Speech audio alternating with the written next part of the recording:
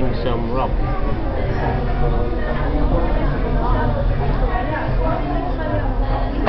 How to make your own confectionery, Polish style. It's got the right moves, hasn't it?